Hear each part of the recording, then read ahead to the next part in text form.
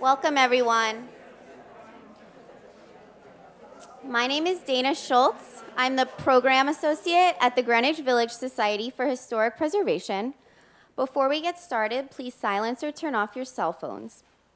I would very much like to thank the New School for Public Engagement for co-sponsoring this program with us and for hosting us this evening in their lovely space.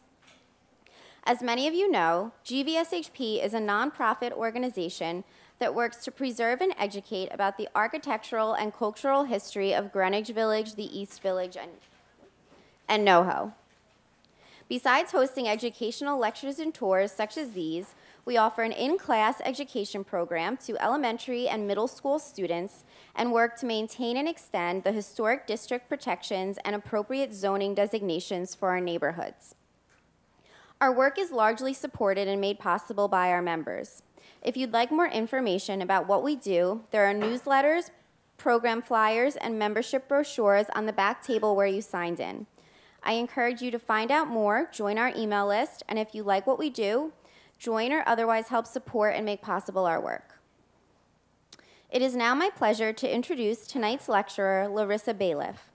Ms. Bailiff has been lecturing at MoMA since 2003, where she gives public gallery talks and private tours, and teaches both in-person and online courses. She also teaches survey art history courses at FIT and has taught, and has taught courses at Pratt. She has worked with other museums, including the Morgan Library, the Art Institute of Chicago, and the Brooklyn Museum. Ms. Bailiff loves thinking about modern art and drawing audiences into its history in different ways. Please join me in welcoming Larissa Bailiff.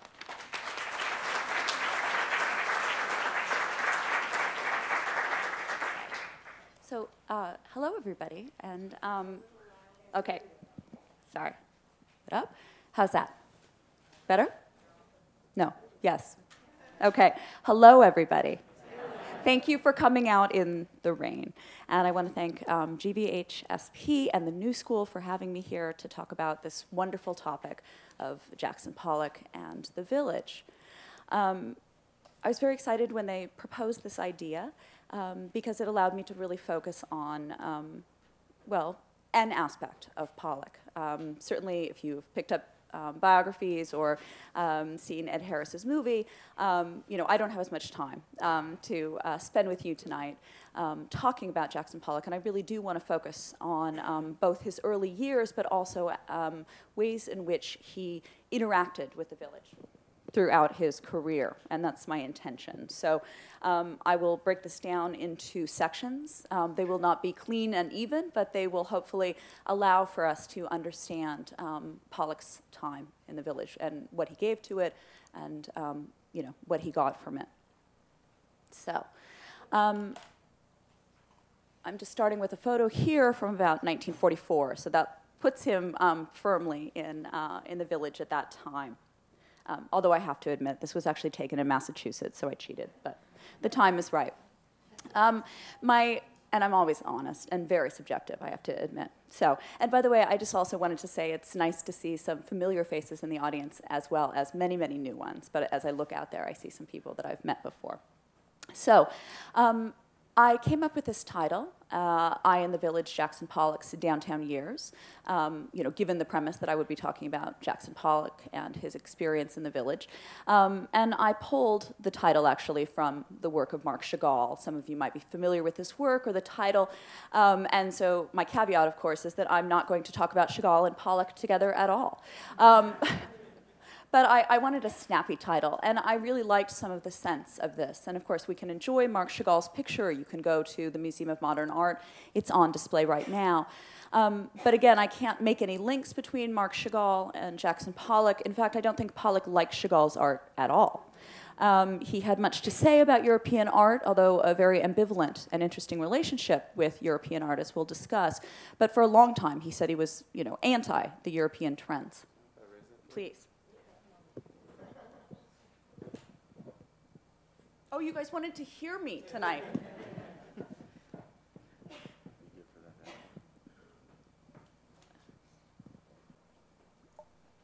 So, um, just to give us a little background on this particular work, Marc Chagall, in his I in the Village, um, with the emphasis on the personal pronoun there, is thinking about um, his life in Paris around 1911, um, where he is ensconced in the new art trends, but very much, um, as he will continue to throughout his life, thinking about his past in Vitebsk. So incorporating the idea of coming from a place a bit more rural than Paris at that time, although Vitebsk had quite a population.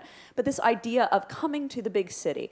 And in some ways, that does foreground what we're going to be talking about here, because Jackson Pollock, um, you know, came to New York City.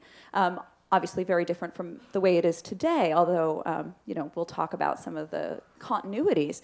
Um, but he was, um, you know, coming in some ways from a smaller place to a different kind of village. And we're going to sort of explore and interrogate what that village was that he um, entered into. Um, I do want to put an emphasis on the I as well, because for Pollock, um, in many ways, it was about the id, and it was about the personality. And I'm telling you nothing new there, although I will elaborate, right? And this idea of once he came to the you know, the village, Greenwich Village. Um, the idea that he was very much a part of it and needed it, as we'll discuss, but also sort of kept himself apart in some ways. The I was very important to him. And in fact, why a lot of people came to the village and what they found there was communal support to be an individual. And I think that was incredibly important for Pollock. Um, just to um, read a little bit of a quote, and this is Jed Perl sort of um, summing up some George Simmel. Um, he said, Jed Perl says, For only when we have a sense of setting in place can we begin to see how the city became a center for the, quote, elaboration of the individual. This idea that the village provided that, it provided camaraderie and bravery and inspiration on all levels. And Pollock needed that and, again, gave to it. But he kept that eye sometimes very separate. It was a tricky eye and a difficult eye, Pollock was, and a very talented eye. He became the hero and leader of the village. But enough Chagall and um, enough of Europe for now.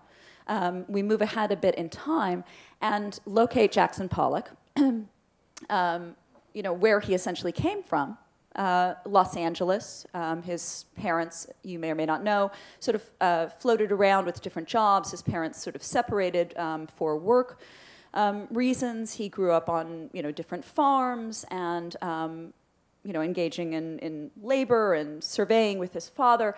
Um, so you know he was from the outdoors, but he also um, grew up in many places around Los Angeles. So he did know a sense of city. Um, but here we have a photograph of him um, in the outdoors, um, perhaps in Los Angeles, but uh, possibly in Arizona, actually, um, from around 1927 28. And he's all dressed up like a Westerner. And of course, this is going to be one of the tropes that he will play up throughout his life this idea of the outsider, the Westerner, understanding the great expanse of land. Um, etc. Right, and he did. Um, he was born in Cody, Wyoming, and that's something that he sort of plays up a bit more than his Los Angeles roots. But he was 10 months old when his parents moved away from Cody, Wyoming. So, um, but this sense of, um, you know, someone who hadn't grown up in New York, um, immersing himself in the village, um, you know, both exciting and expansive for him. Um, and this is a picture, he's all dressed up in 1930 when he makes his way to New York. Um, he's been kicked out of the Manual Arts High School for producing subversive literature um, against the sports team and then fighting with the PE coach. Yes. Um, he was actually led in this endeavor by a really great art teacher, um, a sort of um, almost an early beat um, figure. Um, who wore a little goatee and encouraged his students to, you know, make radical art and also to, to partake in subversive politics. Philip Guston, by the way, you may know, went to the same high school, and he was kicked out and he left. He said, fine. But Jackson Pollock and his mother tried to get him back in. He did, and then he got kicked out again. So um, this wasn't going to go very well. And, um, you know, he had some friends, but he realized that um, he wanted to, again, expand upon this. And he makes his way to New York and um, takes up with his brother Charles, who was already beginning to be an established artist. So again, this photo is um, there he is, perhaps trying to pose a bit older than his years. His hair is um, cleanly cropped, and I say that because before this time he, he wore his hair rather in a sort of bohemian long style. Um, so he was, you know, trying to create a sense of self, certainly. By the way, um, was he a fantastic artist at this point? No. in fact, he talks about needing to find rhythm. He finds that his drawing is very stuck. Um, and, you know, he needs to build his skills. He's not adept like Charles. Um, but he does decide um, eventually that that's what he wants to pursue, to follow Charles and go to New York. Um, by the way, you know, an early portrait, we're not quite sure when it was um, completed, but done after he moves to New York um, in 1930 there. And um, I always think it's so interesting to look at self-portraits and to think about what they convey. And if I were to ask, you know, any one of you in the audience here, I think you would comment upon the sort of dark tone of this, right? Um, you know, it's, it's romanticized, it's brooding, um, and probably pretty appropriate for an artist just starting out, trying to find himself. Um, and what did his art look like during this period in the early 30s? And again, we'll locate him more geographically in just a minute, but um, you know, he's looking to the likes of um, Albert Pinkham Ryder, and um, so we have here um, a work by Pollock, here perhaps even looking more uh, modern, I don't know, um, but an earlier work by Ryder. So this is, you know, Pollock sort of trying to establish a sense of self. Um, Charles is studying at the, um, that is Charles Pollock, um, one of um, Jackson's older brothers, is studying at um, the Art Students League in the 1930s under Thomas Hart Benton, with whom I'm sure many of you are very familiar. Um, a charismatic figure. Um, here he is with some of his painting behind him. And um, Pollock was very, very attracted to him as a type of father figure, as a mentor, and their relationship um, was incredibly important. And this is where we sort of put our first section of um, village life. Um, Thomas Hart Benton lived on East 8th Street, and very soon Charles and Jackson will be living almost across the street at 46 East 8th Street. So this notion of proximity, which allows for um, these friendships, this mentorship, et cetera, um, to develop is, is critical. Um, here, just images of the Art Students League, right? Um, and a photo of a particular class around 1932. And um, Pollock attends for a couple of years, um, sort of on and off. Um, he works with Benton when Benton takes off in 1933 um, to fulfill a commission in Chicago and just basically leaves his students hanging. Um, for a little while, Pollock works with John Sloan, but he's not so interested in that. And by the way, some of you may or may not know this, but Pollock wanted to be a sculptor first. He said, I want to be like Michelangelo. So keep that in mind, because that's not where he, I think, found his talents lay. Um, but this just gives us a sense of, um, of artists there circling around a, a teacher mentor figure. Sloan was very important there. Benton was very important there. Um, Gorky didn't teach there, but he would sort of storm around and hang out with Stuart Davis. I mean, it, it sounds like it was a pretty amazing, um, you know, uh, time at the Art Students League. And of course, I've put the address on here. It doesn't fit into my village, does it? Um, at West 57th Street. This is no located near where the galleries were, the few galleries that there were in the 30s and then expanding in the 40s. Um, but of course, this was a sort of subversive outpost of teachers and students who, most of which lived in the village, right? Um, so it was sort of, you know, an uptown um, village group, if you will with lots of discussion and, and interesting teaching. Um, so Benton um, was working on a mural when Pollock came to study under him. And Benton, uh, despite the fact that um, Pollock wasn't necessarily extremely talented, um, took a liking to him, fostered their relationship, got him little jobs.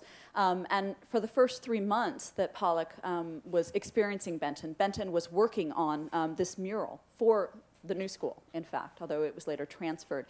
Um, so this is a section of the, the Great Mural America Today. Although this was painted in Benton's studio. He didn't want to paint just on the wall, so he actually painted at the studio and then had it put onto the wall, which I think is very interesting. And so Pollock would have been at his house all the time, checking this out, seeing this um, sense of regionalism, right? This idea of um, American artists painting American subjects of the city, but more often rural subjects. And we might think of, um, of course, Thomas Hart Benton, um, Grant Wood, um, and uh, John Stuart Curry, um, and others, but um, you know, pretty much uh, a very accepted style of painting, and of course, very different than what Pollock is going to do. Um, this itself is a city scene, um, jazz dancers, um, you know, multiple views, uh, lovers kissing, um, you know, boxing um, activity, and so on and so forth. Um, but of course, uh, Pollock also would have been exposed to what Thomas Hart Benton was more known for, his subjects of cowboys and rural scenes. Something like this, for instance, The Ballad of the Jealous Lover of Lone Green Valley of 1934. Um, and I won't talk too much about it, but again, sort of a Western scene, um, various sort of narrative bits, and this sort of um, what has been described as a very almost mannerist style, right? Um, almost El Greco dressed up as cowboys, um, as some people have put it. And it's, you know, um, not my observation, but I think it's a very good one, so I'm going to steal it. Um, and you know, just to put it up against what Jackson Pollock is creating here, this is a famous early work of his, Going West. Um, and I think you know, uh, I needn't spend too long um, laboring the points of comparison, what he's getting from Benton in terms of that swirling sort of um, atmosphere, the stylized forms, um, the Western regionalist um, subject matter, et cetera, with a touch of Ryder or maybe Blakelock and a, a bit of darkness there. But also, this allows us to set the stage to see how far Pollock comes, even if you have an idea in his mind of Oliver Dripp, um, to, to start here. Excuse me. Um, so I just throw in two portraits, um, a self-portrait with Rita and a portrait of Rita with TP, their son. Um, this one is on display at the Brooklyn Museum right now. So if you have a chance to see it before their 1920s Youth and Beauty show closes on the 29th, not much time, but um, a wonderful, fascinating work. Um, and one thing I want to point out about Benton, although it doesn't relate to our topic, he was five feet tall. So I think he's taken some idealized notions about this. Maybe it's the El Greco in him. But anyway, um, very much in love with Rita, um, and one thing leads to another, and they have this, this child TP. Um, I just point this out or, or, put this up there to, to give us more exposure to Benton's work, the kinds of things Pollock would have seen, and also to give us a sense, um, in regionalist style, if you will, um, the happy family life that Pollock found himself involved with. Um, he babysat TP during the day when Rita and um, Thomas Hart Benton would go to the Art Students League and when he wasn't going there. Um, he started coming to their house, again, basically across the street on East 8th, um, for dinner, two, three, four times a night, uh, I'm uh, sorry, a week. Um, and uh, might have seemed like that. Um, he, you know, Rita introduced him to spaghetti, one of the, the famous um, evenings, the dinner. He said, ma'am, what is this? I'm used to ham and roast beef, and I don't know what this is. And, and Rita had made him wonderful spaghetti with, um, you know, spaghetti and meat sauce. And um, I think it's very interesting because later on, when Pollock moves out to the Springs, apparently one of the things that he liked to cook for guests was spaghetti. So he got that from Rita. Um, and, uh, you know, he may have been in love with her, it's hard to say, in a sort of, you know, um, well, people have conjectured that, but she did provide a very sort of stable existence for him at this point, as did Thomas Hart Benton. Um, pictures of um, Thomas Hart Benton and his family um, jamming, literally, um, with uh, you know different instruments, and um, TP is playing there um, in both images. apparently, they had Monday harmonica nights. Um, you know, the, they were called the Harmonica Rascals, and Benton invited Pollock to um, join in and to play with them. Now, his drawing wasn't really rhythmic or very good, and he wasn't a musician at all. So they finally settled on the Jewish harp and sort of sat him in a corner. There's a wonderfully endearing um, portrait that Benton uh, makes of Pollock, you know, playing the Jewish harp, trying, trying, right? But they let him, and again, that was part of sort of um, fostering his spirit. Um, and here, just a picture of um, that's Jackson Pollock there, shirt off, um, hanging out with Rita and some of the kids and um, other people at um, the Benton's home in Martha's Vineyards, where he would go every summer. So again, very much a part of his experience. Now, um, you know, not only does his work not look like Benton's for much longer than this, he will start to look for other mentors and perhaps father figures, but certainly artistically. But uh, you know, again, it provides, I think, this sort of starting place. As Pollock said um, about Benton, he taught realism so hard um, that it gave me something to bounce against and become completely non-objective, which Benton didn't like in the end. But, um, but again, he sort of you know, allowed Pollock to do what he needed to do later on. Um, in 1935, uh, Benton moves away permanently, so um, moves to Kansas City, Missouri, where he's teaching. But just to um, talk about Pollock's experience during this time, um, you know, he's one of those artists that we describe living hand to mouth, right? Um, he is showing at the Washington Square Art Show, right?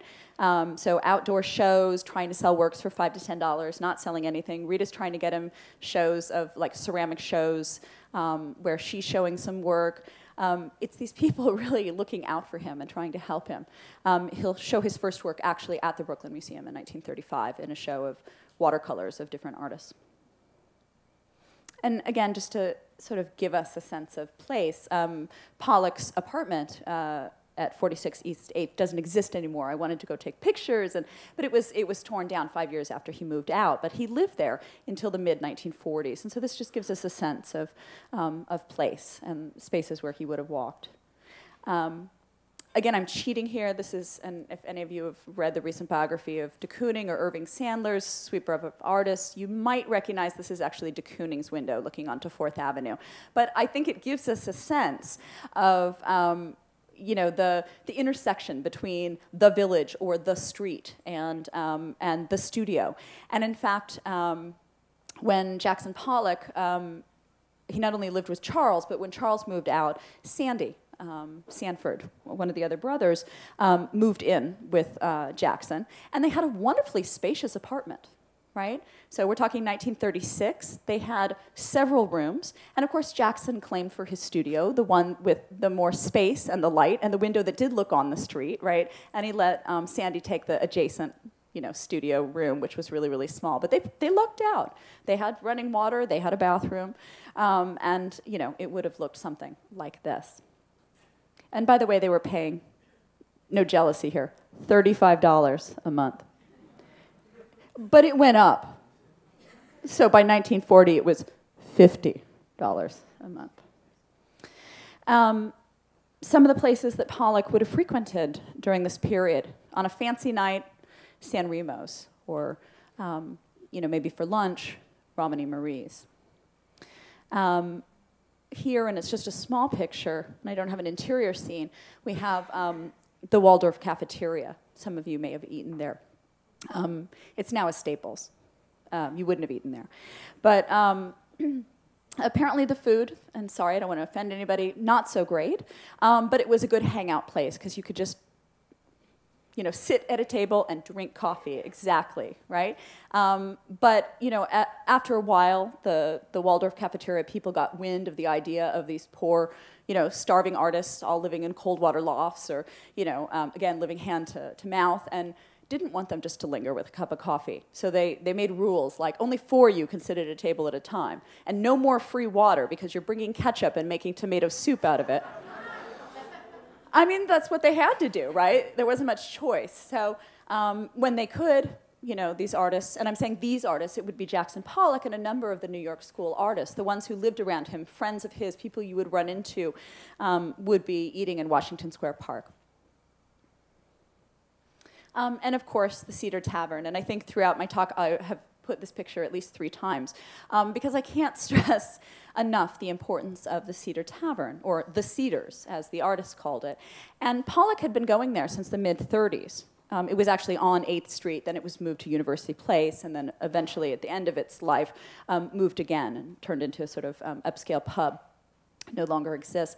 Um, but, uh, and this is the University Place um, address. But even in the 30s, he, you know, I mean, it was like a block from his house. And even when they moved it, it was a couple blocks away. And that proximity, well, especially if you wanted to drink a lot, um, was useful.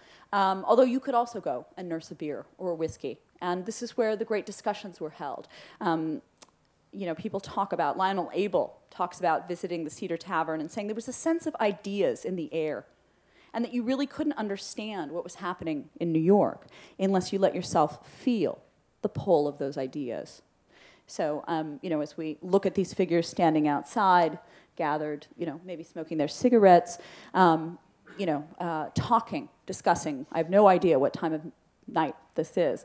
Um, this was the hangout where everybody went almost every night, and you could find people to talk with, and it was important um, to share those ideas and shape those ideas. Um, not the best photograph, but to go on um, a little bit more to um, some of the things that are impacting Pollock during this time, and you might be aware of, um, you know, how important the Mexican muralists were at that time. Diego Rivera had just had a show at MoMA in 1931 and a show before that at the Metropolitan as part of uh, a group of Mexican artists. Um, Siqueiros was here in New York teaching. Orozco would come in 1940 to do another um, fresco at MoMA. And people were very aware of this. Um, their work, again, being shown at the Met, Jacob Lawrence talks about the impact of um, the Mexican muralists on him in early 1940s. But even before that, Siqueiros had run his laboratory, um, his experimental laboratory, where you know he torched works and used spray paint and flung paint and dripped paint. Sounding familiar? right? Um, so I'm not going to say that Pollock isn't, you know, original or that he wasn't very talented with what he did. Um, but there are others who were dripping and flinging and doing things, and I think it's important to acknowledge them. Um, so Siqueiros was one of that who, who said, you know, put your money where your mouth is. If you want to be radical politically, um, you know, and Pollock maybe didn't want to be radical politically, but you have to paint radically. You can't paint like Diego Rivera. Siqueiros would say, you have to be radical in your experimentation and try new things. And so here we see him discussing, um, you know, the kinds of things and the ways one could paint. And, and we know that Pollock was very immersed in that. And um, this is happening near Union Square. Um, in fact, Jackson Pollock had met Siqueiros, and so here we see them um, even earlier on, um, you know, arm in arm there. Um, so an important influence on him. And this is a work by Siqueiros here, Collective Suicide, um, a quasi-historical work, but the sense of um, the conquistadors killing the indigenous people is sort of relegated to the very bottom there. But what is more interesting is this notion of the sort of abyss and the abstraction and the multiple layers. There are actually cutouts and wood projecting, and um, you know you don't really know exactly how it was painted. Um, and uh, and actually it was a psychologist who proposed this idea to Siqueiros, just a little tangent there. But this idea of um, this explosion of experimentation, which I think opens Pollock up. Um, here's a work that Pollock does around that time, The Flame, much smaller than a lot of the Mexican muralists. This is in MoMA's collection, not up right now. Um, and I'm comparing it now to the work of Orozco, um, and in fact, Pollock had actually seen Orozco's work at, um, at Pomona College in Claremont. He had gone with his brother, and they were fascinated by the strength, the aggressive, um, violent, um, figural uh, work. And so um, I'm just you know, comparing them here and allowing us to see some of that intensity, some of the peaks and forms, um, and you know, the boldness that he might have gotten from Orozco.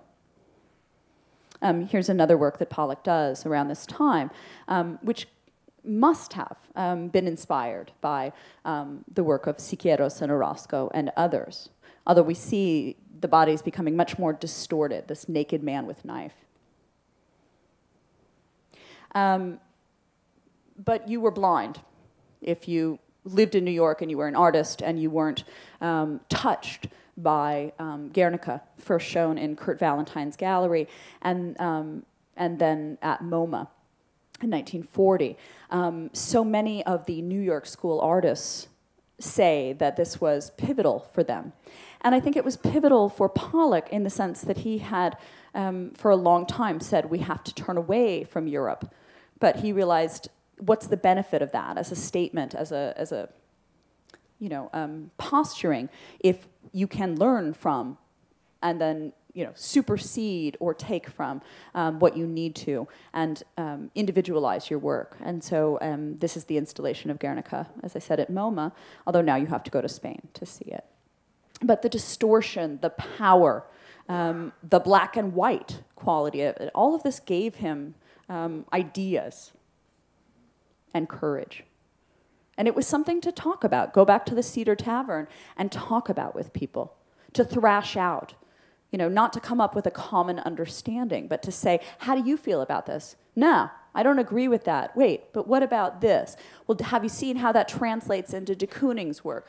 You know, Bill, do you, do you buy that? How do you feel about it? Those were the conversations that were shaping things. Right? Even more, right? Um, we have different artists who, um, I mean, literally working across the street um, from Jackson Pollock's studio. And everybody knew everybody. You know, later in 42, Lee Krasner says, I was so surprised that I didn't know Jackson. You know, we were in a show together, or we're going to be in a show together, and he's probably the only artist in this area that I didn't know. Everybody was on 9th Street or 10th Street or this street or that street. And she says you just would go to their studios and you get to know them, you'd see their work. And that is how all these artists describe it. It was just sort of open studio. And it's, you know, not only would they be talking at the Cedar Tavern, but they would pick up from each other what they were doing. You know, oh, I like that use of yellow. Oh, there's a sale at Pearl Paints. You know, I'm gonna I'm gonna use that yellow, um, and play off each other, right? Um, but again, they could learn, they could be mentored. And um, if you don't know Stanley William Hayter's work, um, and Atelier 17, um, or 17 was um, you know, set up in Paris first, but Hayter brings his print workshop to New York um, and teaches at the New School, in fact. But Pollock doesn't even want to walk that many blocks. He just wants to walk across the street and see what Hayter's doing. And he's fascinated, um, and this is one of Hayter's work there, and we can see the sort of intricate levels, the biomorphic shapes, the lyricism of the line, the difficulty. Now, Pollock wasn't very good at printing. Okay, I, I, he's going to get good at something soon. But I, but I want to suggest that he learns from all of these artists, even when he realizes his own limitations or what he doesn't have patience for. And he knows that he wants to to see what other people are doing and to drink that in. And he talks about this as being formative for him. And just, you know, to give us a little sense of place. I love um, Rudy Burckhardt's photographs. Oops. Um, more Cedar Tavern. Like I said, I have to keep interjecting because, you know, every other night was there. And, um, you know, discussions, formulations. Um, Hayter had come from uh, England um, and then via France, bringing over his um, print workshop and teaching.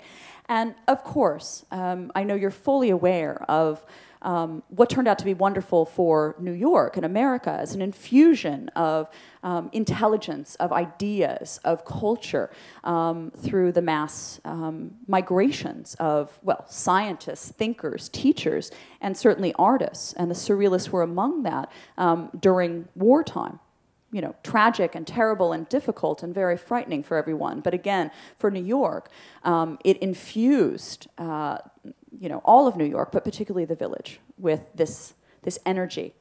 Um, and so I didn't name all of the artists in this picture, but Max Ernst is in the center. And um, a number of these artists, Breton was living on 10th Street, Matta was living on 9th Street.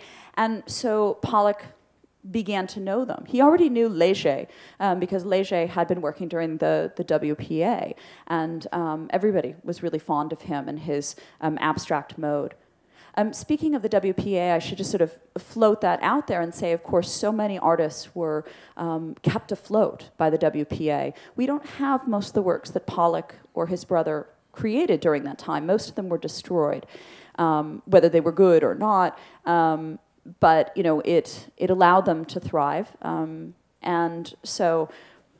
Um, you know, for several years of Pollock's life, he was uh, a part of the WPA, um, Burgoyne Diller was one of his supervisors. And thankfully, again, another figure, a mentor figure, who, you know, an abstractionist, um, who, when Pollock wouldn't show up for work, he'd go to Pollock's house.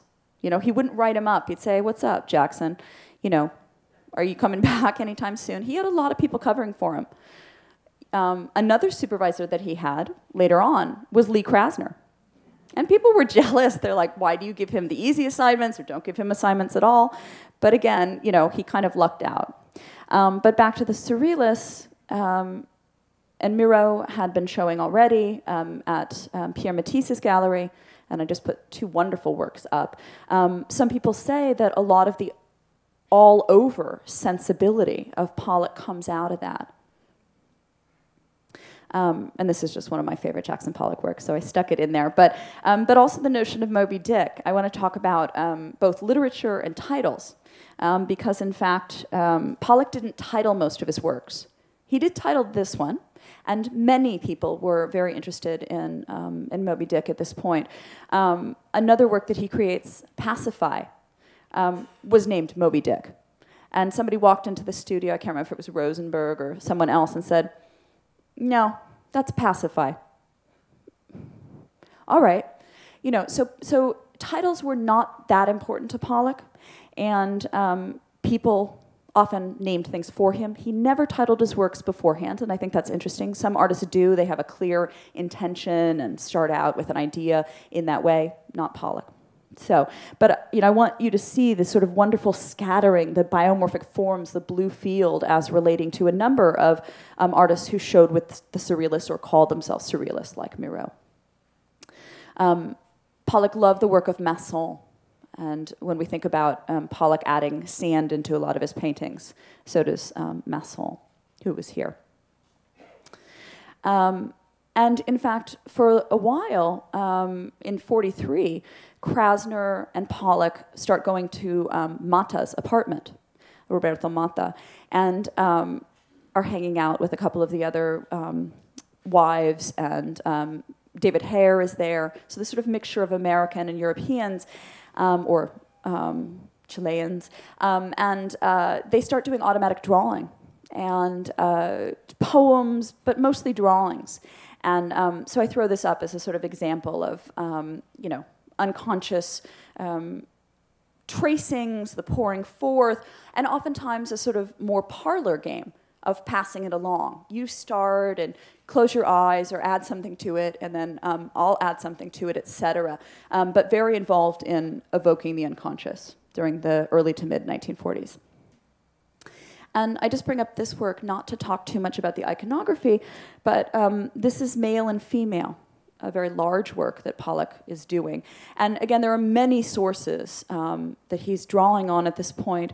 Um, he is seeing a therapist. Um, many people discuss how uh, the Jungian therapist has him draw because he can't express himself. He can't talk about his feelings. So he's delving into his unconscious. He's thinking about Jung, um, and we'll talk about other sources. But male and female may seem so archetypal and Jungian, but it's also a game that the surrealists used to play as part of their automatic drawing or their um, uh, corpse esquisse, right? The idea of, all right, I'll start and draw something and hand it to you, and you'll start and draw something. And they would often do men and women or male and female and come up with these sort of grotesque, monstrous, um, whimsical figures. And so, underlying this as well, I think, are these relationships, this idea of um, sort of playfully putting on there um, signs and signage, and we notice the sort of numbers and you know the graphic marks and male and female, both archetypal and sexual, and um, you know coming out of games. Um, MoMA plays a big role, and of course, it's not situated in the village. The um, the progenitor of the Whitney Museum um, is down here, and that's that's an important source. But um, MoMA shows, um, and one of Pollock's good friends, a friend of many of these artists, is John Graham, who lives um, nearby to Pollock, and um, they go together to the Native American um, show, or the show of Indian art in America, I believe it's called, and we see their sand painters, and of course that um, is something that Pollock claims is a source of his, and I think it is, from even his earliest days back in Arizona, um, where he sort of collected not artifacts but jewelry and design. Um, and you know, I jump ahead with this work, but you know, this idea of getting into the work that Pollock talks about, um, you know, as he moves past the mid 1940s, this idea that he will get to um, with his overall drip works of stepping into the work, I think comes out of looking at, um, in some ways, other cultures and approaches to creating art. Um, but here, just a, a, rare little glimpse um, at his apartment um, with one of his paintings, Guardians of the Secret, behind him. Um, here's stenographic figure. And um, at this point, we move into the realm of Peggy Guggenheim and how important she was as a patron and um, propagator of American art as well as European, having shows putting them side by side, um, you know, bringing some of the more radical painters, um, giving them a chance, if you will. Um, Jackson Pollock and Motherwell walk into her gallery and she says, um, I'm doing a show on collage. I need a collage. This is not a collage. I need a collage from you and from Motherwell. This is, you know, sort of first meeting. Well, neither Motherwell nor Pollock have ever done a collage. So they go back to Pollock's studio. And again, this camaraderie, and they figure out how to make some collages. Motherwell loves the process and will continue to add paper and different things at times um, into his works. Pollock hates the process, um, but they turn in their works. They show one each, and based on this, um, Peggy Guggenheim gives uh, Pollock the chance to show one more work in the Young Artist Spring Show. So each artist can bring one, um, and Pollock brings this stenographic figure, 42, and um, he leaves it there. Right, it's kind of like the old-fashioned jury system in Europe, right? And Peggy Guggenheim looks at it. Yeah, uh, I don't know you know, and in fact, it's um, Mondrian, who's one of her advisors, as is Duchamp. And Mondrian says, after looking at it for quite a while, and Peggy notices that he's standing there, it's been 30 minutes, and he's still looking at it. He says, I think this work, stenographic figure, is the most interesting thing to come out of American art. So Peggy rethinks her position and decides that she's discovered Pollock. Thank you very much. And um, so you know, and thankfully, I mean, I'm, I'm trying to be comic, but, um, but thankfully she has good advisors and she um, knows when to take their advice. And so um, this begins Pollock's journey with um, Peggy Guggenheim. He'd actually been working for um, her uncle's um, wife, Hilla Rebay, at the, what becomes the Guggenheim Museum. He'd been an elevator operator and a janitor for a little while. And um, so he, he says goodbye. He and Lee Krasner write a little note um, to Hilla Rebay and say, see you later. Um, which was equally hard, or I should say more hard, because um, Hilla Rebay um, and her husband um, had a quite cantankerous relationship with their niece, Peggy. here she is, uh, standing in front of a, a later Pollock, but just to give her um, her due. And of course, a shot of her wonderful Art of the Century gallery, which um, had a, a, essentially a five-year run and um, was incredibly important to Pollock. Um, here's that Pasiphaë that I was talking about, and again, we can see him, um, or if you you know are familiar with his works from this time period, um, you know, really creating these dense surfaces, um, working on these sort of symbols, what look biomorphic and automatic, but um, worked and reworked and drawn over. And, um, you know, he's onto something. Um, this may seem like a very bleak uh, picture here, um, but it's, the, again, the, sort of the best I can do in terms of showing his apartment um, at this time and where he lives from the mid 1930s to the very end of 1945. And what it is showing us, as it says, is the blank canvas for mural. And some of you may know the story that Peggy Guggenheim commissioned him to create this enormous mural for her apartment. Um, really, really important. Um, and uh, he's struggling with it. He doesn't finish it by the time she gives him a show. And so he's continuing to work on it between 43 and 44. And he's got to get it done. And it's huge. And he's stuck.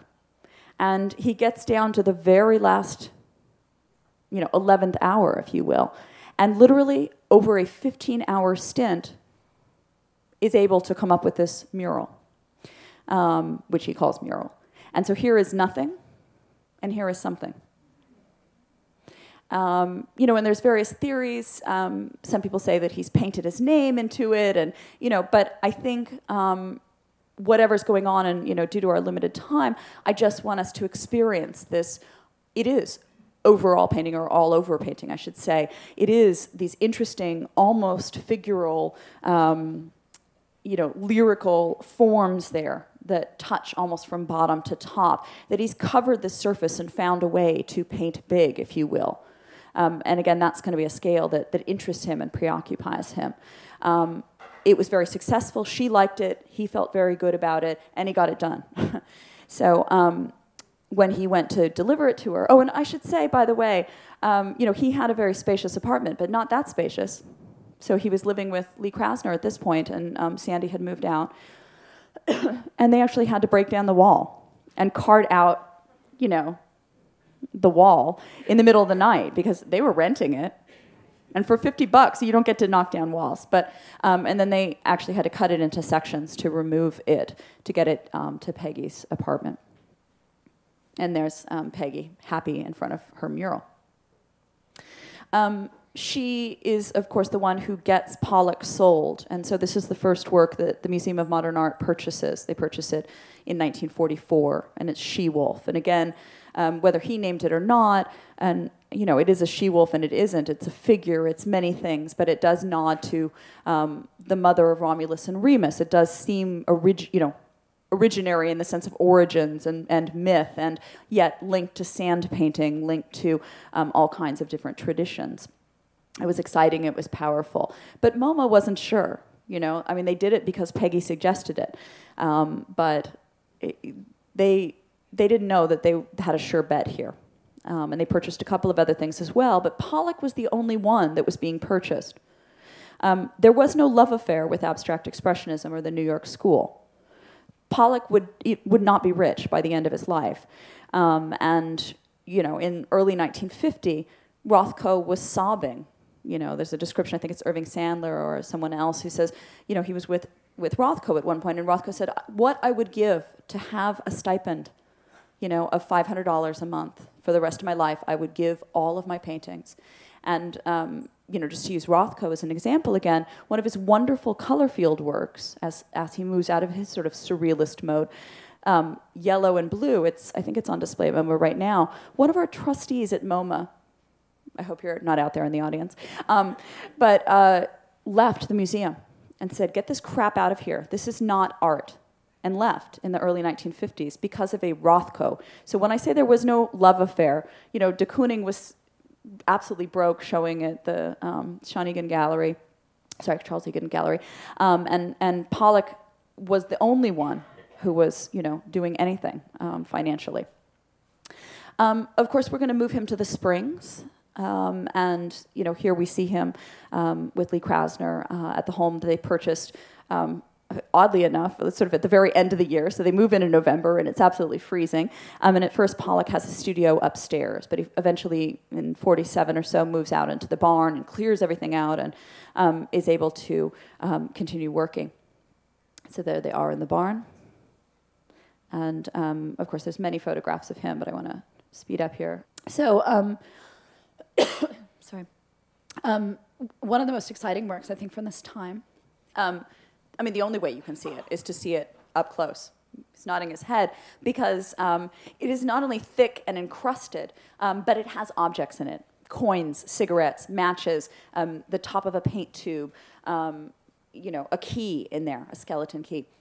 Um, you know, as if he's just sort of let them drop. Now, Full Fathom Five, again, a title given by one of his Neighbors in the Spring, um, a reference to Shakespeare, but this idea of a shipwreck and the detritus sort of, you know, sinking to the bottom of the sea, perhaps.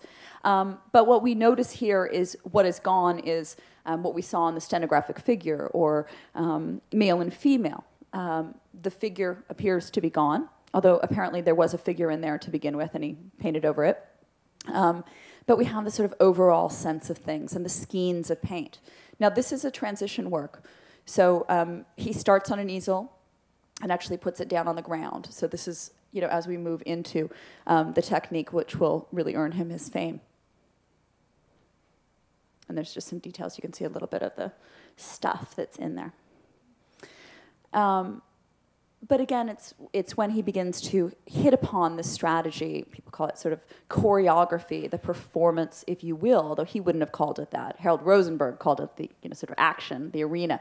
But um, Pollock losing himself in this painting, although, as he said, no chaos, damn it. He knew what he was doing, but unstretched canvas, unprimed, um, working on them, sometimes for days, sometimes even for months, um, stepping back, seeing what was there, calibrating um, you know, these skeins of paint, flinging, turkey basters, um, unusual uh, use of brush, right? Not brush work, but brush.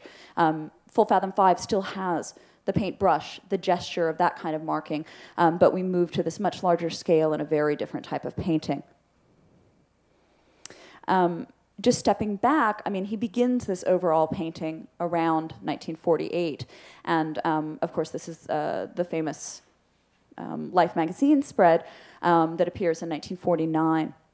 And there he is um, standing in front of some of his works. And we see that, um, that sort of drama of, um, of, the, uh, of the paint schemes and the different colors, et cetera. And you know, he's making it. Other people are not. Although he's not making much money and he does feel uncomfortable about this. And you know um, that could be a talk in and of itself, but I just need to sort of throw that out there that um, you know he's still visiting um, his friends, um, and he will continue to do so um, in the village throughout you know the end of his life. But this does separate him a little bit. He's the leader. He's shown that it is viable, that it can be viable, but he feels uncomfortable, and that puts you know a lot of pressure on him. Some people say, "Oh, he's become uptown." I mean, he lived in the Springs, but you know, he's showing in those galleries. Um, and just another example, though I don't think this picks up that well in um, slide. Um, one of the very you know large overall works that he's known for. And while these hang in um, prime institutions, um, you know they weren't purchased during this time. Um, and uh, you know like uh, Autumn Rhythm at the Metropolitan was only purchased after Pollock's death.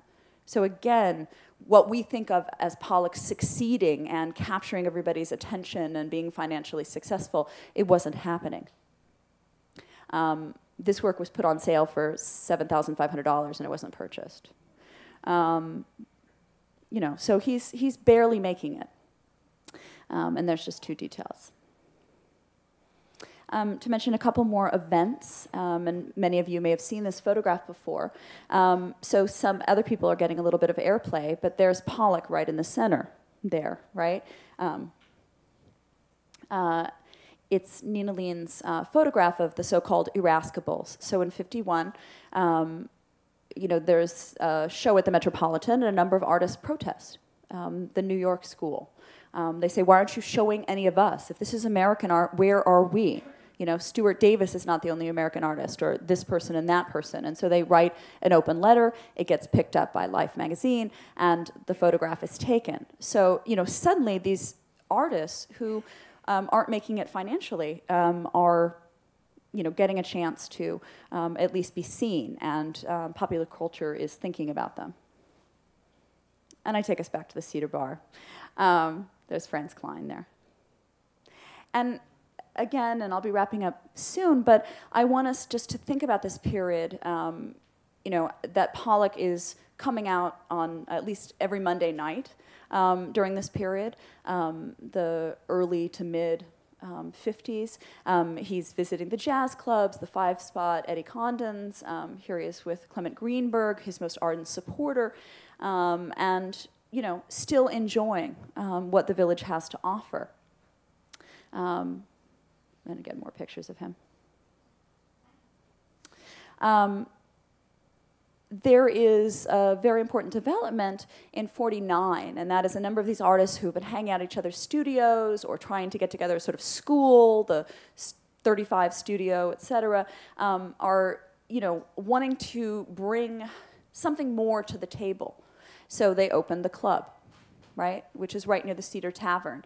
And um, this is not a picture of that, but this is something that comes out of that. And, and that's this notion that um, they're going to hold symposium. They're going to have invite other artists and musicians, and um, I'll show you a couple of their announcements. But um, one of the things that develops out of the development of the club in 49, um, you know, it's formal and informal, right? There's a certain membership. You're supposed to pay a little bit of dues.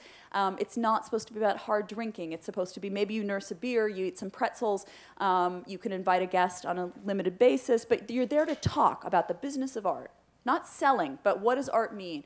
And they invite people to talk about medieval art and Asian art throughout the centuries and um, Kierkegaard, and sometimes they heckle these people, but it's intellectual and it's, it's full of spirit. And um, Leo Castelli actually brings a number of these artists together to hold a show. And so this is what we see the artists bringing their work to the 10th Street. Um, gallery and um, and holding um, works at the Ninth Street show. Forgive me, that should say Ninth Street. Um, and Pollock's name is, you know, it's alphabetical there, so you can see it right um, between Porter and and um, d'Art. Um, but it, it's important for them to, you know, say that they have a place for themselves. It's not uptown. It's the only one that happens. It wouldn't have happened if Castelli hadn't made it happen. But Pollock is there. He's amidst these people. He's not standing out and saying, I'm no longer a part of this group. And especially the sort of name recognition. When he goes to the Cedar Tavern after 1951, young artists apparently are coming up and sort of touching him and hanging out with him and want to sort of bask in his glory, even if he can still barely pay his bills. And just to mention, of course, that sense of the I, um, you might be fully aware that, that Pollock's always running into trouble. I won't say he's violent. People said he wasn't violent. He was pugnacious. So, you know, on the way back from the bathroom, suddenly he'll shove you and you'll shove him, and then all of a sudden, you know, a fight will ensue. But then in a few minutes, everything will calm down and you'll be showing him pictures of your kids. This is how it gets described, you know, or mostly he goes to the Cedar Tavern and he fights with Franz Kline, who everybody loved. And, you know, it's this sort of jocular, um, it was an outlet for Pollock. It's something that he needed. He needed that intellectual stimulation at the, at the club, and he needed to let loose. And of course, he'd gone back to drinking, and that's you know unfortunate. Um, people say he, he couldn't drink much at all. You know, two drinks and he was out anyway, but he didn't stop at two. Um, there, by the way, is the Ninth Street Show. Hans Namuth's film here's some announcements, and you might see there, um, you know, Motherwell's talking, Max Ernst, they're having roundtables, discussions. It's, you know, um, for several years, this becomes the place to go. And the cool thing is, it's so close to the Cedar, the, the Cedars, as they call it, the Cedar Tavern, that once you were done, you might do some dancing. I mean, you know, it could lead to all kinds of things. Then you'd go to the Cedar Tavern, and you might finish the conversation more informally with drinking. Um, and I should say, ironically, Pollock was coming every Monday night and sometimes more um, to meet with his therapist to deal with his drinking situation. But most of the time, when he showed up at the club after therapy, he was already drunk. Um, there's just a poster um, to you know, suggest the kind of things that were going on. But I want to um, sort of bring us to, um, even in 1951, the fact that he didn't want to be pigeonholed uh, with those overall works. Um, he felt uncomfortable with this mantle of the leader of the group, even whatever individuality that, that allowed him. Um, he begins implementing drawing more, and of course, he'll, he'll do this in the next couple of years. The last year of his life, he doesn't do any work at all. But he's feeling pressure to live up to the critics, um, and he doesn't want to conform, and that's, that's an enormous struggle that he fought with, a demon. So um, this, I think, embodies a little bit of, of some of that change that's going on. And of course, um, he, in some ways, is, begins to bring back the figure in different ways, um, which was a no-no with the New York school at that point. Um, of course, I bring in this photograph of Pollock um, and his Model T, and you know there is no happy ending for us. I can't, I can't change the story. I couldn't quite leave us in the village. But what I want to suggest, of course, is that Pollock never really left the village. He was visiting. Sometimes he would stay in a pied-à-terre of one of his patrons on MacDougal. He felt at home as much as he did anywhere else. He needed that intensity, but also the memories, kind of like Marc Chagall, of the expanse of the West. And I think all of that comes into play in his art. He was troubled, there's no doubt about that, and you know, his therapist could could elaborate more, um, but. Uh, you know, it was difficult at the end, and and um, you know, then he crashes his car. He's only 44 years old. Um, but he's respected among his peers, um, and some of them feel, you know, that he's a rival, um, de Kooning in particular. Um, he dies in August. Word gets out. People are either, you know, summering nearby. Um, they get on their telephones. You know, word is out, and it's a tragic event um, for many reasons. Um, but to come full circle, and Pollock is not in this picture, um, both of the Cedar Tavern, but also the club. Um, he dies in August. MoMA, who is actually offered a, you know, a mid-career retrospective, then it will turn in December into, a, unfortunately, a you know, posthumous retrospective. But I want to take us back to the village, not to MoMA, and to say um, one of the evenings at the club in November is dedicated specifically to Pollock for his friends, his rivals, um, you know, his admirers in the group, to come and discuss him and de Kooning's statement that Pollock broke the ice. Is that a compliment? Is that an insult? You know, what does this mean? What did Pollock mean to us? What does he continue to mean to us? And I think, in a certain way, um, you know, what I've tried to express is that, that Pollock's um, formative life was based on all the experiences that he had in the village, this notion of um, what Rosenberg, Harold Rosenberg called a geography of modernism, right? This space which allowed for Pollock to become the individual artist um, that he did, to challenge himself to um, create amazing abstraction and to inspire others to do so. But in the end, I think it, it is a wonderful sort of celebration that the club and the artist that he knew for so long would get down to the nitty gritty and argue and discuss and create a dialectic about Pollock, right, in their own way, in a sort of village sensibility. And then everybody headed to the Cedar Tavern. So, thank you all.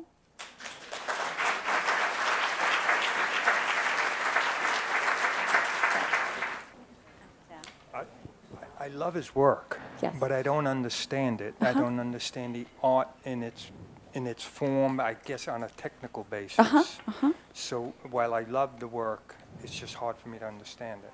Yes. Maybe you can clarify that. Um, I, I don't know if clarify is the verb I would use, but um, you know, and I just that's um, my way of saying I too. Um, so the question was about the sort of difficult, the difficulty of understanding or entering into Pollock's works, or um, and I'm just going to add a dash dash. Other people, not you, but have said, you know, why is this art, or or it could be very childlike. And I think, again, um, even in this, this brief um, but whirlwind of, um, of a talk today, we've seen um, both development and some changes and, and differences in his art along the way. And I think there's different sort of meaning with different things. But when we talk about Pollock, we mostly mean, you know, when he, as de Kooning says, breaks the ice. Um, you know, works on mural scale and takes it on the floor and creates a new way of painting and, um, and creates an overall abstraction that has nothing to do with narrative or the figure or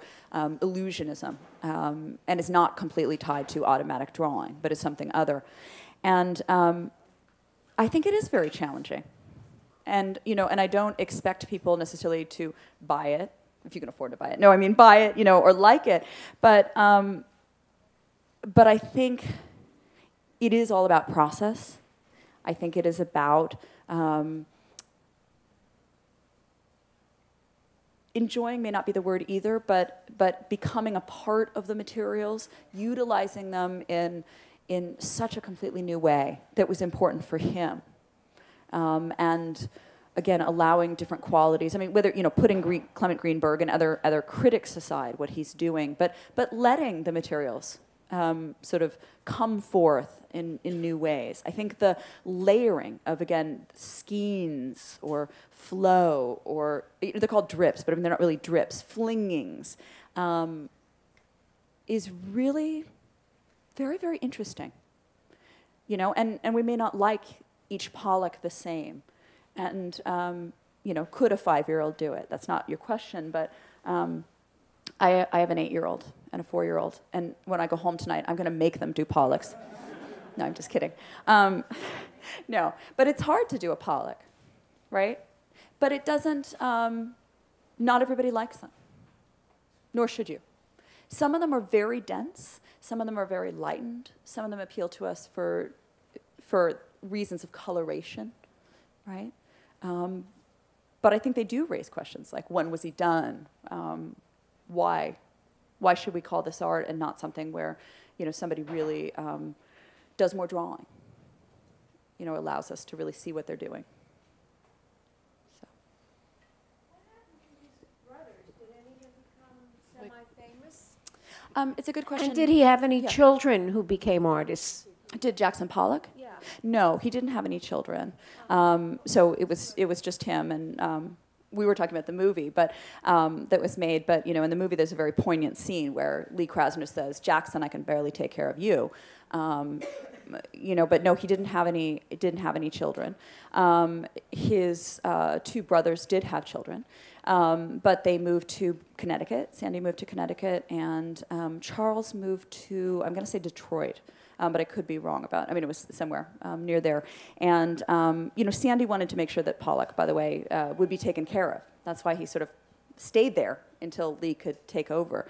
Um, he talks. Sandy writes to the mom and says, "I really can't leave Pollock," you know. Um, but neither one of them went on and did much with art. Um, again, Sandy had worked for the WPA, even changing his name because you couldn't have two people with the same name in the, in the building paid for by the WPA.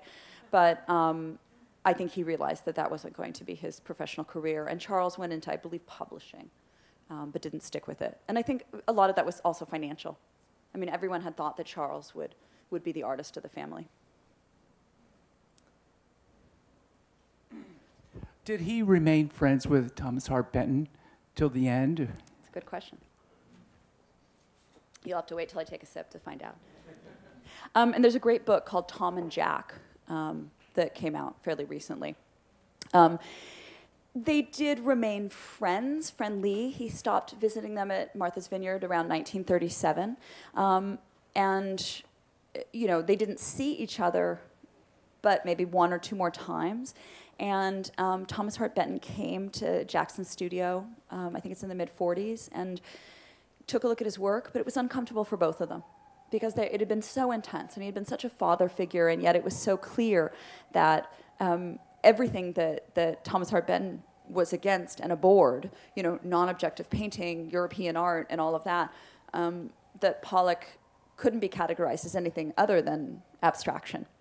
And so there was not much he could do to sort of sugarcoat how he felt about it. I mean, he tried. Um, but, but Jackson knew, and that was uncomfortable um, for both of them. Um, and the other thing that was problematic about that was that Thomas Hart Benton was a star in the 1930s. And though Jackson Pollock and the, the New York School and de Kooning and others weren't making a ton of money by the mid 40s or late 40s, everyone understood that progressive art was going to either be you know, surrealism or abstraction of some kind. So Thomas Hart Benton was passe. And, and that was an uncomfortable position to go from father figure to, you know, not really respecting what your, your protege does.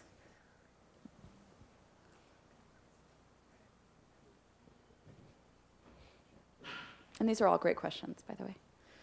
How much art and what was his art like in the last five years of his life when he was in a downward spiral and when he had switched therapies? And Yeah. what was his art like during that time period? So, um, great question. What was his art like? And I, I sort of skimmed over that um, for, for several reasons. But um, I mean, one of my favorite works is at MoMA, and it was done in 1953, and it's called um, Easter and the Totem. He was very inspired by Matisse near the end of his life, and so he picks up a number of bright colors. You see pinks and purples and greens, and you see again forms reappear. Maybe he's engaging with Motherwell and others, but certainly Matisse's retrospective, um, the year before his death, uh, that's Matisse's death, um, inspired Pollock to rethink some things and um, a lot more emphasis on the vertical format than horizontal. Or if he's doing horizontal, they're more like friezes as opposed to big murals. Um, but he's struggling. Um, the works that he's showing at the biennial um, and different shows, um, people are asking him to show his work from 50 and 51. That's not good for an artist. Oops. Um, and uh, let me see if I can get this to go off. And the last year of his life, or 18 months, he, he doesn't do any work at all. Like, literally, he's drinking beers all day. And um, that probably was a, you know, a cycle where it didn't make him feel any better. And, you know, critics that had been his friends, like Clement Greenberg, maybe could have been more supportive, but maybe they couldn't. I mean, how do you how do you support something that you don't necessarily believe in or you're not understanding the direction that an artist is going in? And to bring back sort of figuration or more drawing, um, to get away from, from something that um, the critics had appreciated for three years and said was the pinnacle of um, modern American art, right? It's shown in Vogue with, you know, models standing in front of it. It's, it's you know, in Life magazine. Here was this hero, and, and and it was all bound up with the art that he made at that moment. So it was really difficult, and, and his production was not very prolific at all. I think 49 was his most prolific. I have a question about um, his desire to be a sculptor. Yes. Can you comment on that? Sure. Um, even from an early age, when he was at the, the um, High School for Manual Arts, um, and I do want to say that he didn't know from the beginning. I should backtrack and say he didn't know from the beginning that he wanted to be an artist. So he wasn't like Pablo Picasso saying, you know, his first word was lapis, pencil, or something like that. You know, um, he was like 14, and you know, one day he's like, yeah, I think I want to be an artist like my brother Charles. So that's not to say he wasn't sincere. It's just to say he he hadn't figured that all out. Um, but in high school, he said he wanted to to carve. And when he first comes to New York, um, and you know that's expensive. I mean, materials that's expensive. But when he first comes to New York, he takes free classes at um, at um, the the Greenwich House and at the um, Henry Street Settlement, and even when he's at the Art Students League, when he drops um, John Sloan as his teacher, he takes sculpting, um, and you know, I mean, it's a difficult thing because I think he realized that he didn't have it in him and that that wasn't going to be his strength. And again, you know, I don't want you to come out of this talk thinking that I think Pollock is a second-rate hack that he copied from everybody or that he, you know, that he couldn't paint because I think he could paint. Now, I, you know, I don't know what he would have done with sculpture, but, um, but I think he felt a certain lack of confidence um, early on with that. But he does say, I want to be like Michelangelo. So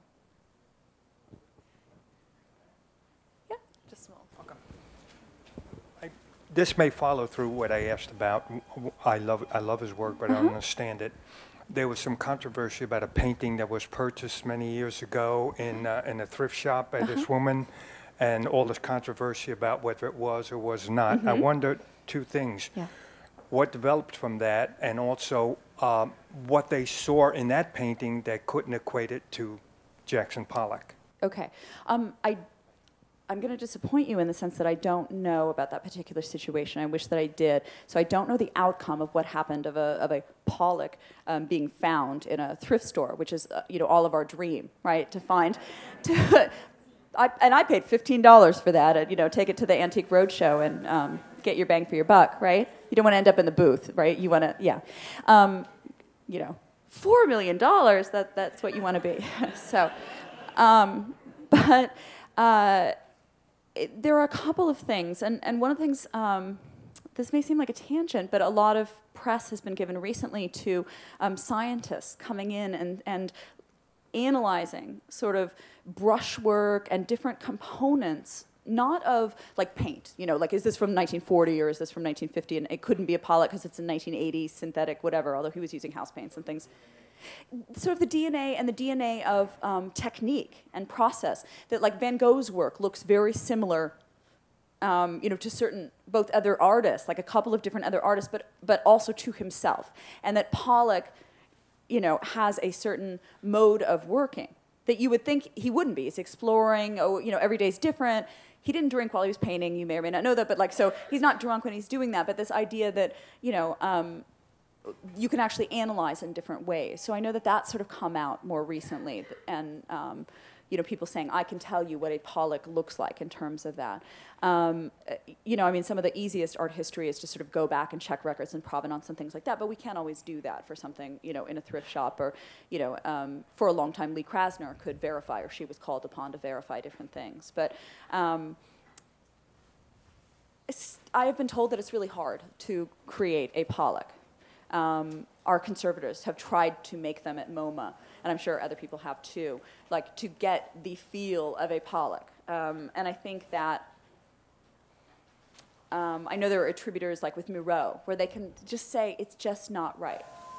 Um, and I think that counts to a large extent as well, that gut feeling of people who know in and out every single work that this person has done, and no matter how abstract, where we're like, oh, well, it's not all of his figural, you know, it doesn't matter. It's this gut feeling that you know that that's not the right size, that's not what he would do, that he always left a little blank space, that kind of thing. So I don't know in particular, although I'm going to go, this is going to be my new homework, to, to find out what happened and, um, and to keep searching in thrift stores for Pollocks. Yeah. Uh, um, coming from the standpoint of um, one of the world's greatest artists, excuse my modesty, but um, uh, I, read the, I read that um, Pollock met um, Hans Hofmann, who was considered the master teacher Yes. in Life magazine. And Pollock said, uh, excuse me, Hofmann said, You ought to come and study with me. And Pollock never forgave him for that insult. Yeah. Yeah. And I had studied in a great high school in Detroit. You know, I thought I was talented enough in that. I knew something was missing.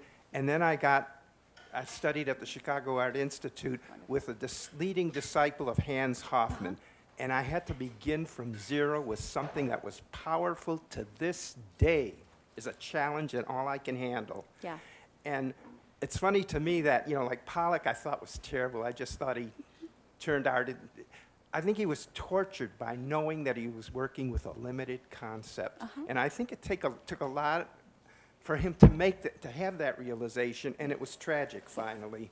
Uh, but I, I appreciate him more and more when I see what you presented here. He did have talent, and I didn't, you know, I don't think I was really sensitive to that fact. But for me personally, when I finish a work of art and the push and pull that Hans Hofmann works, the big problem then is how the hell do you sign a painting when it doesn't when it doesn't breathe? And that's when I have to do what Pollock did. so, Very interesting. you. Well, I thank you on, on so many levels for that, and and um, and I had meant to bring in Hans Hofmann, so thank you for doing that. While I didn't show a picture of his studio, um, he lived uh, or, or and worked um, on Eighth Street as well, um, and. You know, of course, Lee Krasner had had the opportunity to study with Hans Hofmann, as did so many people. I mean, he impacted and influenced so many people through his teaching, through his um, students who went on to teach, and um, you know, in the village, but also in um, Provincetown, where he, you know, was every summer. And such, such an important figure. And, you know, when I talk about where does the drip come from, you know, Hans Hofmann got there first in um, a work called Spring. There are drips. He, he flung the paint, but because it was small scale, you know, he didn't get his due because he was the older generation, because he was German, whatever, you know, these things. But I think, you know, um, people at the time certainly recognized, and I think people should continue to recognize um, the importance of what you're saying, stripping it down, getting back to basics, because if you don't have that push and pull, and if you don't really honestly, you know, and I mean urgently, um, work through that, then, um, and I'm not an artist, so I'm, I'm to, you know, step out of that. But I mean, um, in terms of the way I've heard artists discuss it, incredibly important, incredibly important um, that he had so many of these fundamentals down. And that's why I think he was such a beloved teacher. But also to get back to what you said, yes, I mean, he and Pollock did not get along. He had been, you know, Lee Krasner's teacher. Lee Krasner introduced him to well, everybody. she introduced him to Clement Greenberg and Mondrian and, and Hans Hofmann. And um, yes, I mean, they, they didn't get along when Pollock, he didn't want to go to Provincetown one summer because he didn't want to run into Hans Hofmann. But yeah, that idea that, you know, you should come and study with me. Really? You know, I have nothing to learn, right? Well, you need to draw from nature. Well, I am nature, you know? And that's a statement of confidence that I, you know, that id, but also comes out of a sort of uncomfortable place. And I think that was the push and pull of Pollock that was so difficult.